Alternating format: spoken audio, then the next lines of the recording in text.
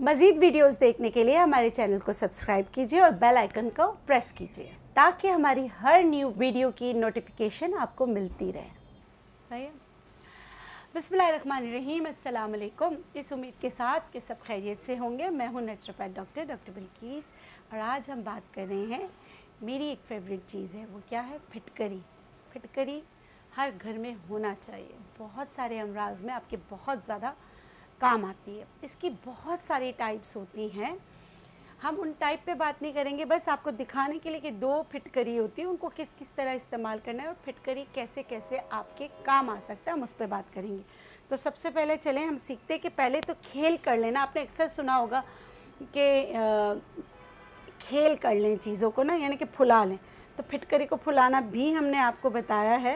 ये यहाँ पे क्या है कि इतना बड़ा तो मैं डालूँगी तो पता चला कि कितने प्रोग्राम निकल जाएँगे। हमने फिटकरी को पीस के पाउडर बनाया हुआ है। इसको हम पैन में डाल के इसको, इसका पानी निकाल लेते हैं। खैर, बहरहाल आप आप पर अगर आप करना चाहें, यहाँ तो मैं आपको बता रही देखिए, इस तरह इसको हम आ, इसका पानी जो है खुश कर लेंगे। अब ये जो खुश किया हुआ पानी है वाला फिटकरी वो कितने अमराज में काम आता है वो मैं आपको बता जब खुश्क हो जाएगा तो हाँ फिर मैं आपको बताऊँगी कितनी चीज़ों में काम आता है। ये देखिए इस तरह इसको खुश कर लेना है। बस ये हो चुका है बेटा बस सही है। ये इसका पानी ना टेम्परेचर मेंटेन नहीं होगा ये खुश्क हो चुका है। फिर मैं बताती हूँ आपको कि कैसे इसका इस्तेमाल करना है। इसको यहाँ रख देते हैं ताकि हो जाए तो बता दें।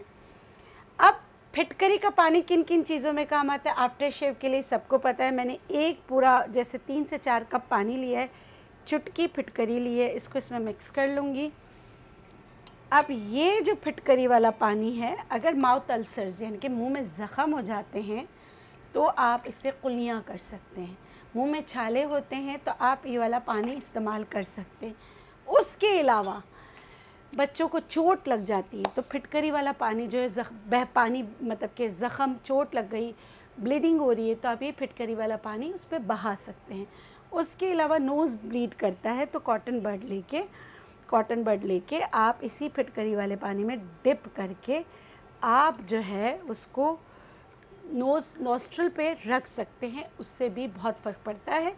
ये छोटी छोटी रेमेडीज़ है, जो बहुत सारी चीज़ों में आपके काम आती हैं। उसके अलावा यही वाला पानी आपके पोर्स को आप मिनिमाइज़ करना चाहते हैं। लेकिन याद रखिएगा कि कोई भी चीज़ आपने यूज़ नहीं की सिर्फ़ पानी से चेहरा धोया हुआ। और आप चाहते हैं कि अब एज साइन बहुत आ गई, बहुत रिंकल्स है, बहुत जुरियाँ हैं। आप मेकअप करना चाहते हैं तो मेकअप से पहले आप यही फिटकरी वाला पानी जो है, जैसे यहाँ गॉस पी से आप रूही में भी लगाकर आप पूरे चेहरे पे टैपिंग कर सकते हैं। उसको सूखने दीजिए कुदरती, उसके बाद आप उसको इस्तेमाल कीजिए। देखिए, एक फिटकरी वाला पानी कितनी सारी चीज़ों में आपके काम आ रहा है। ठीक है, अब ये हो गया। अच्छा एक मैं आपको बता देती हूँ, जो मेरी बहनें किचन का काम करती हैं पोर्स खुल जाते हैं एक्सेसिव पसीना आता है। वैसे तो पसीने के लिए सबको पता है कि फिटकरी स्मेल ख़त्म करने के लिए पसीने के लिए बहुत अच्छा है और वाकई बहुत अच्छा है कि नहाने के बाद आप ये फिटकरी वाला पानी भी अपने बॉडी पे डाल सकते हैं, अंडर आर्म्स भी आप इस पानी को लगा सकते हैं। लेकिन अगर बेहतर होगा कि अगर आप इस्तेमाल करें बॉडी के लिए, एक्सेसिव स्वेटिंग के लिए तो आप ये गुलाबी वाला फिटकरी इस्तेमाल करें। ठीक है? गुलाबी वाला फिटकरी इस्तेमाल करें। अब मैं आपको एक जो है वो बनाना बता रही हूँ। क्या बनाना बता रही हूँ? मैं आपको बनाना बता रही हूँ कि अगर आप किचन में बहुत ज़्यादा काम करते हैं या मेरे वो भाई जो बाहर काम करते हैं, उनको बेतहाशा पसीना आता है। वैसे बेतहाशा पसीना आना अच्छी बात नहीं है। बहुत सारे अलामत हो सकते हैं, उसको आपको चेक करना चाहिए। स्पेशली आपको अपना कोलेस्ट्रॉल भी चेक कराना चाहिए, इसमें आपने इलेक्ट्रोलाइट्स भी कराना चाहिए, अपने बीपी का भी ख्याल रखना चाहिए। ठीक है, ये तो करना है। अच्छा फिटकरी आपके दर्दों को कम करने में भी मदद करता है। अजवाइन, टेसू के फूल और फिटकरी। इनको हम वज़न लेके पोटली बना के गर्म पानी में डालकर जहाँ आपको शदीद दर्द हो तो ये वाला पानी की धार बहाने से मैंने अक्सर आपको बताया, इससे बहुत ज़्यादा फ़र्क पड़ता है और मैंने अपने क्लिनिक में लिखा हुआ है। और हर जोड़ों के दर्द वालों को मैं ये ज़रूर बताती हूँ, जिनको इसकी ज़रूरत होती है। अब मैं आपको, वो आपका फेवरेट पार्ट जो आप कभी मिस नहीं करना चाहते और आप चाहते हैं कि जो है, आपको मैं जितनी भी सेहत के बारे में बताऊँ, लेकिन आपको ब्यूटी से मतलब होता है।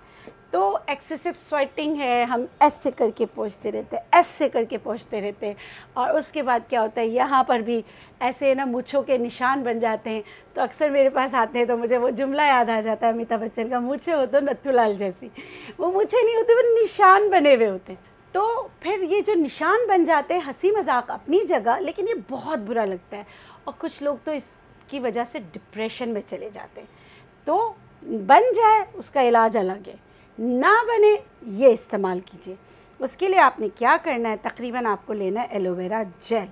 एलोवेरा जेल आप तकरीबन आधा कप ले लें। उसमें जो है आपने रोज़ वाटर 50 एम डालना है, ठीक है? ये आपने डाला। अब इसमें आपने डालना है क्या? आपने इसमें डालना है पिंच फिटकरी। कितनी? अच्छा ये पिंच छोटी रखिएगा।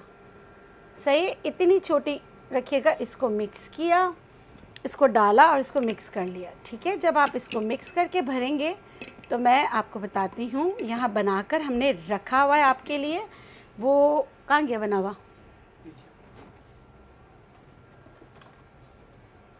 ये देखिए, ये इसकी शक्ल आएगी, ये हमने बना के रखा था। मैं हमेशा बोलती हूँ, जब भी आप कोई चीज़ें मिक्स करें शेक करें और उसको रख लें। ठीक है, रख लिया। अच्छा अब आपने क्या करना है? आपने इसको फ्रिज में रखना है और ऐसे करके स्प्रे करना है, ठीक है? आप एलोवेरा जेल अपने घर में निकाल कर ब्लेंड करके फिर उसको मिक्स कर सकते हैं, वो आप कर सकते हैं। ये देखिए, बना हुआ है, ये बहुत अच्छा। मैंने स्प्रे किया, स्प्रे करने के बाद मैं पहुँच नहीं रही, उसको टैप करूँगी सिर्फ़। बस, इसको खुद ही जो है ना ड्राई होने दूँगी। बस, ये आपने करना है, ये आपके ऑयल को कंट्रोल करने में पोर्स को मिनिमाइज़ करने में आपकी मदद करेगा। ठीक है तो ये कीजिएगा। अब आ जाते हैं, जो हमने ये फिटकरी रखी थी तो ये फिटकरी जो है अभी तक सूखी नहीं है। मैं आपको बता देती हूँ, जब ये सूख जाए तो आपको लेना कितना है फिटकरी ना? फिटकरी जब ये खेल की हुई फिटकरी जो है वो आपने लेना है सिर्फ़, देखें, इससे ज़्यादा नहीं पड़ेगा। ज़्यादा, फिटकरी का ज़्यादा लेना भी जो है ना अच्छा नहीं। खेल किया हुआ यानी कि फुलाया हुआ फिट, ये मैंने लिया, अब मैं इसको मिलाऊँगी किसके साथ? शहद के साथ। ये देखिए, मैं आपको इसको शहद, अगर अगर कुछ लोग शुगर पेशेंट है तो आप इसको मक्खन में मिला सकते देसी मक्खन में। इसको मैंने मिलाया आप ये कितने अमराज में आप, आपके काम आएगा? जोड़ों में दर्द है तो आप इसका इस्तेमाल कर सकते हैं गम्स ब्लीड कर रहे हैं तो कर सकते हैं। हेपेटाइटिस की कोई भी किस्म है तो भी आप इसको इस्तेमाल कर सकते हैं। हेपेटाइटिस वालों के लिए, जिगर के अमराज के लिए ये सुबह साढ़े चार बजे, इसका एक प्रोटोकॉल है। सही है, इसका कोई साइंटिफिक एविडेंस नहीं है, लेकिन इसका प्रोटोकॉल है कि इसको सुबह साढ़े चार बजे आपने खाना है। ठीक है, क्या करना है? फिटकरी और शहद, जिस तरह सिर्फ़ एक ग्राम के करीब, मैंने आपको बताया कि बहुत ही छोटी चुट, चुटकी। अगर आपको कॉन्स्टिपेशन है तो ये आपकी मदद करेगा। अगर आपको इंटरनल कोई भी इश्यूज़ है तो ये आपकी मदद कर सकता है, जिसमें नोज़िया वॉमिटिंग भी अगर आपको हो रहा है तो उसके लिए तीत जैसे पायोरिया है, उसके लिए बहुत अच्छा है। पाइल्स है। पाइल्स का मसला है ब्लीडिंग वाली पाइल्स है तो भी आप कर सकते हैं। लेकिन आपने जो मकदार है उसको बढ़ाना नहीं है। तो याद रखिएगा, ये छोटी छोटी रेमेडीज़ हैं। और भी फिट करी के तो फिर तो आप दस प्रोग्राम कर सकते हैं, लेकिन ये मेरा पहला पार्ट है, जो मैं आपसे शेयर करी इन आगे और भी आपको बहुत सारी चीज़ें बताऊँगी। इस उम्मीद के साथ कि ये वीडियो आपको पसंद आएगी। और इसी तरह आप अपना प्यार जो है हमारे चैनल से जोड़े रहेंगे।